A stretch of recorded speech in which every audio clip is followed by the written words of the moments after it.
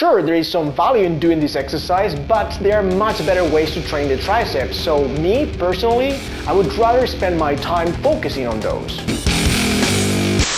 Yo, what's a crack? Your personal trainer TiToX, changing people's lives for the better through strength and fitness. It is common knowledge in the fitness world that not all exercises are created equal. Very selected few have been granted the status of staples when it comes to strength and hypertrophy training. These are compound heavy hitters that present significant overloading potential. It is not surprising that advanced lifters with significant muscle mass and impressive strength numbers have based their careers mostly on a basket of top tier movements. They've learned over the years that these ought to be the meat and potatoes of every good program. The importance of the second tier movements cannot be understated though. Smaller exercises are key when it comes to achieving optimal results, a well-rounded physique, managing fatigue over time, and avoiding weak body parts. That's why intelligent lifters include some of these into their training to make sure that they get strong from head to toe. However, one particular exercise among these have gained unwarranted popularity in the last few decades. I'm talking about the tricep kickback, and look, I do agree that there is no such a thing as a bad exercise. This isn't a bad exercise per se. But as you're about to see, I'm gonna make the case for ditching this movement and replace it with more effective ones. Your time in the gym is valuable. Use it wisely. In this video, I'm going to explain why tricep kickbacks are popular nowadays, why you're better off not doing them with a set of dumbbells, I'm also going to show a better way to perform tricep kickbacks, and finally, I'm going to suggest more effective alternatives. Let's get on with it. One of the reasons why tricep kickbacks are so popular in commercial gyms these days is because this is an easy exercise. Either unconsciously or fully aware, the vast majority of people seek to get results using the least amount of time and effort. This human trait could be a bless and a curse at the same time. That's why millions of people find extremely appealing those who promise the results they want through easy methods is press. This is for triceps. Good. But if you have a minimum knowledge and understanding of human physiology, you know that this is a massive and steaming pile of major league horse to tone, sculpt, define, or whatever marketing lingo influencers want to use to connect with their audience, your triceps need to get bigger. Hi, how's it going? Yeah, I would like to order a new set of triceps if that's available. Yeah. Perfect. Bigger? No, no, no, no, no. I don't want to grow them. I just want to tone them. That's it. Only that. Thank you, please. For a given muscle group to get defined, sculpted, or even toned, you have to make it bigger first so that it's pushed against your skin.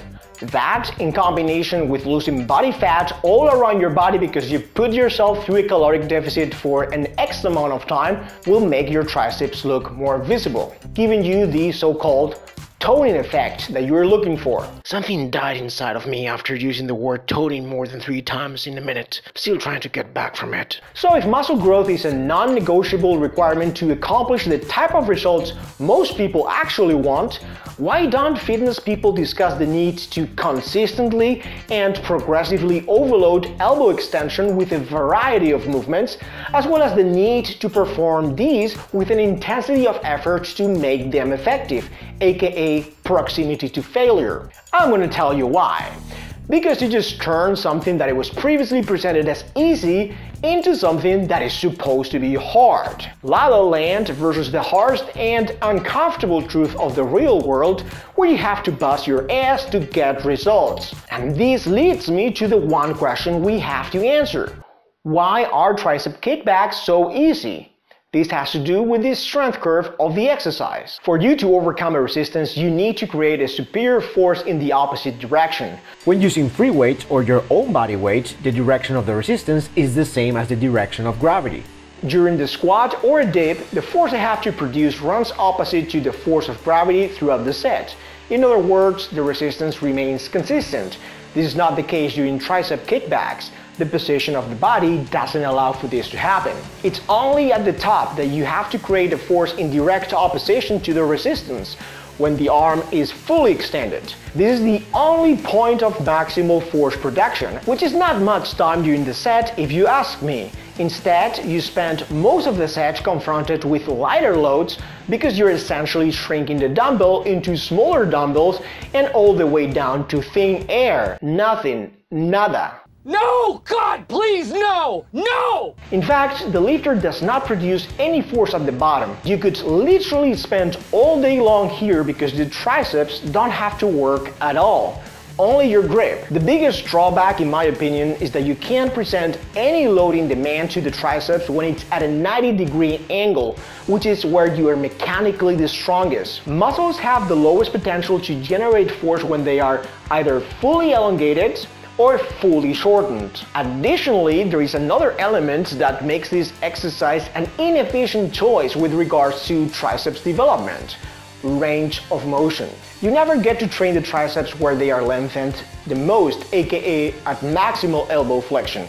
If you did so when performing the commercial gym version, you wouldn't be targeting your triceps, but your biceps. I mean, are you kidding me? So, as you can clearly see, this movement desperately needs an overhaul. If a pair of dumbbells is all you've got at your disposal, then you've got to change your body angle to make your line of force against the object as directly opposed to the line of gravity as possible. For this to happen, you must produce an excessive bent over. Let's call this variant the upside down tricep kickback. Believe it or not, this version was an old bodybuilding movement that never went mainstream. As weird as this looks, this is a much more productive way to spend your time training your triceps. You finally overload elbow extension at 90 degrees and your arm is not fully extended when the line of the resistance is perpendicular to the ground. In simple terms, this excessive bent over creates a new angle that works much better with gravity to train, thus to grow the triceps muscle group. Additionally, there is an incremental loading near maximal elbow flexion,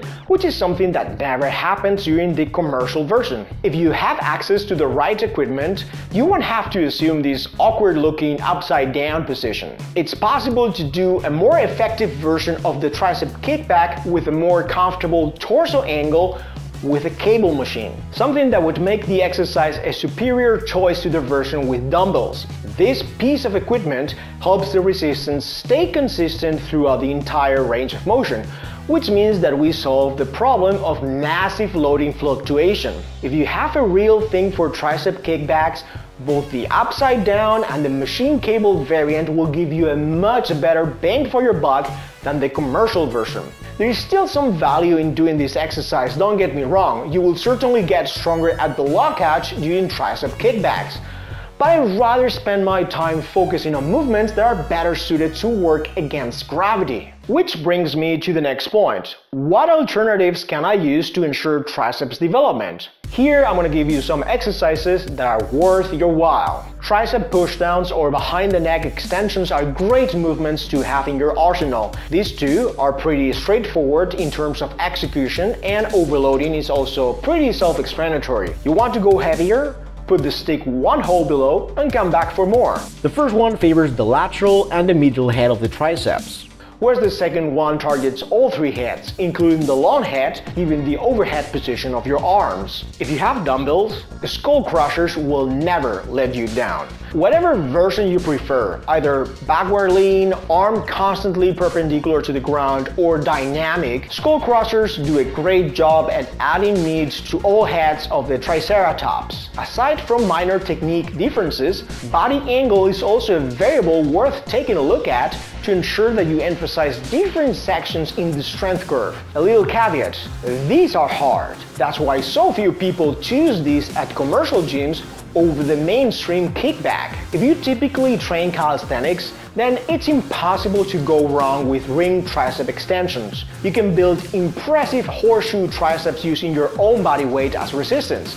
But I'm not gonna lie, the technical requirement is much higher than the previous movements I've discussed. You're basically combining skull crushers with an ab wheel rollout, so the midsection might give up before the triceps do if your core isn't strong enough. If you want to find out more on this exercise, form, variations, and typical mistakes to avoid, I recommend catching this video later on. And lastly, the JM press.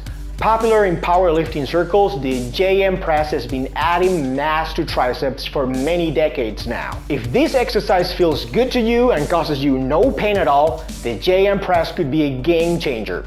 I highly recommend this accessory lift, especially if you want to build a bigger bench press. It might take a couple of training sessions to get the hang of it, but boy oh boy, this is one of those movements that is very overlooked in the bodybuilding world. It shouldn't. It's known for blowing up your triceps pretty good. In sum, the commercial tricep kickback is not a bad exercise in the sense that it would hurt you or it would be a complete waste of your time. In fact, there is some value to it, albeit limited. But given its unique characteristics in terms of its interaction with gravity, you must place this exercise towards the lower end of a hypothetical value scale. If that's all you do to grow your triceps, uh, your results might not be what you expected. I don't have a problem with this movement in isolation. However, I do take issue when trainees want to rely entirely on the commercial kickback to spur growth in the triceps area. Hopefully I made it very clear throughout this video that tricep kickbacks in the way we practice it in commercial gyms are not the best way to try to get triceps growth. What's more, I also address the shortcomings of the popular variant and what changes to introduce in order to turn it into a better movement. Moreover, I have offered you other alternatives that could help you grow bigger triceps more effectively. Rotating some of these in and out of your training could be a smart way to supplement multi-joint exercises. Check out these two videos, I think you're gonna like them. Please give me a thumbs up, subscribe to the channel, and don't forget to click on the bell to get notified every time a new video goes live. Stay fit, stay strong, peace.